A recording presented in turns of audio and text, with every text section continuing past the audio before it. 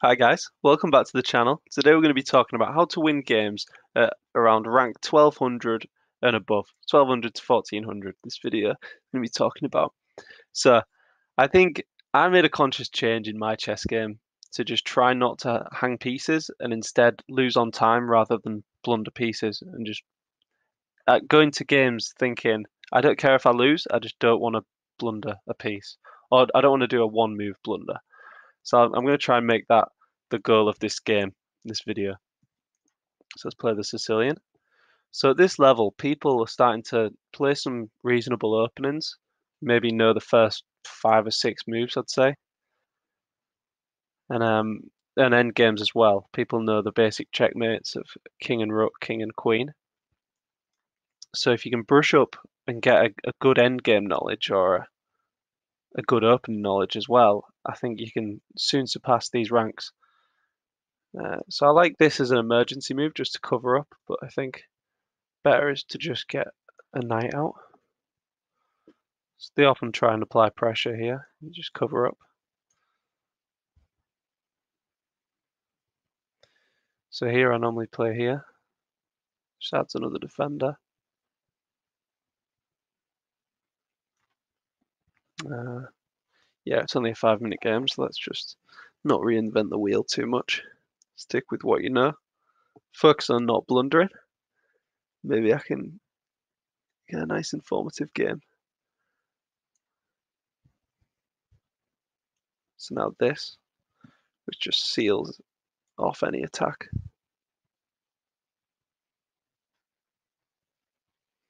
Sometimes in this Sicilian position you can entice the opponent to overextend because they think they've got a big attack against your king.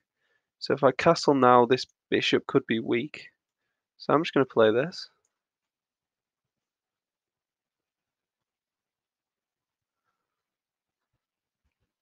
Yeah, I thought that was coming. But doesn't that just allow me to sort out my pawn structure? I think so. So if I trade queens, then he just gets a isolated pawn in the center. Okay.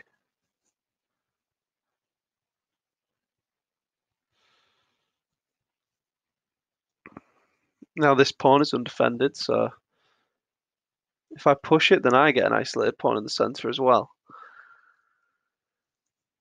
So maybe I defend it and try and... Hmm, I don't know. Seems easy just to push it.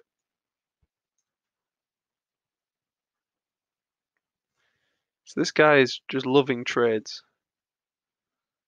So maybe I can disrupt that, that thought pattern.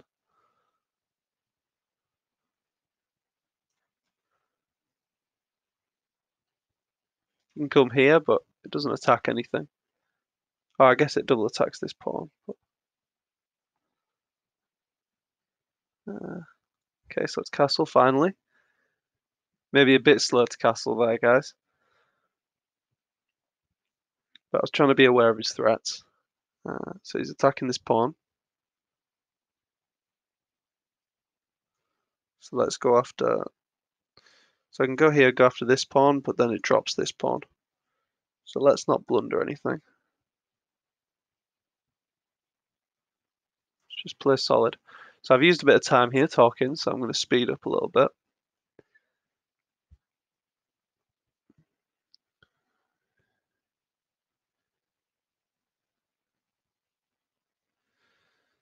Yeah. I mean, this looks quite nice. Just being aware of any forks. You can hit this and this. But I'm not too bothered, I can take with the pawn.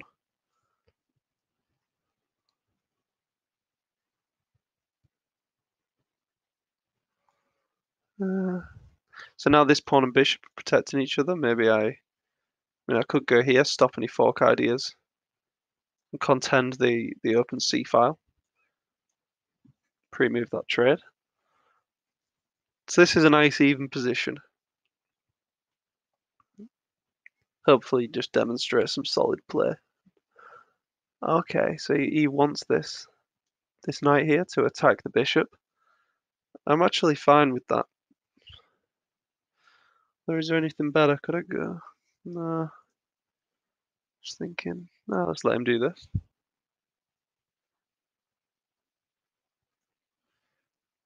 I actually want him to take my bishop. I think it's a bit stagnant on that current square. Just making sure he's not got any forks. So I like this. It gives me another pawn in the center.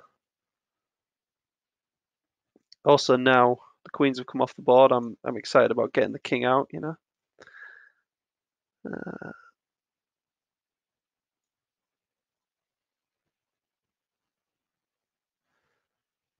so I think this trade is good for me. My rook's going to be much more active than his.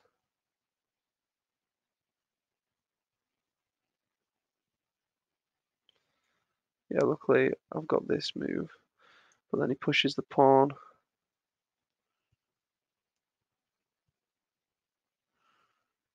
Hmm.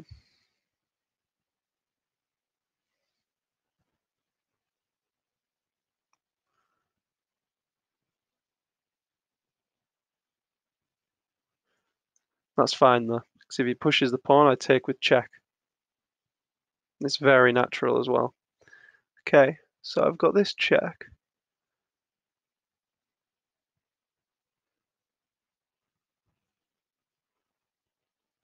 Uh, I'm in a bit of a bind here, guys. Not gonna lie. Just throwing, just throwing this check, try and do something. Got this fork here. Also protected the bishop, which looks nice. That looks to clarify the position. Yeah. So I did get in a bit of trouble here. This pin on my rook. Okay. Doesn't doesn't that just lose a piece? Also this next.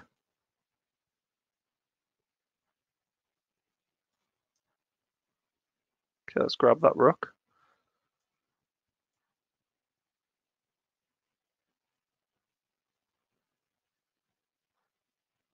I don't think he should have done that.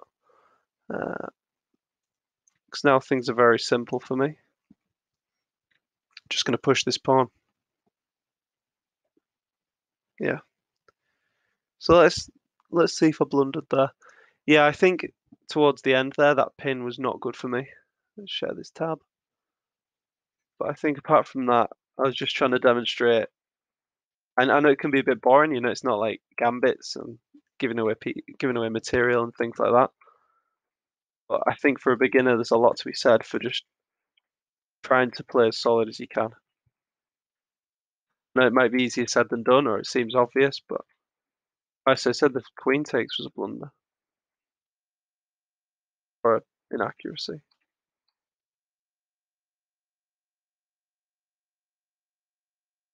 And here he was slightly more active than me for for a little bit.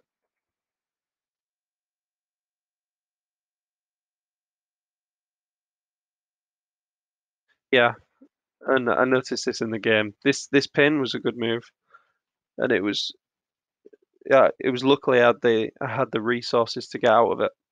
So I had that check leading to this pin, this uh, fork, sorry, which just won a piece, and then yeah, things fell apart for white. I hope that was instructive, guys.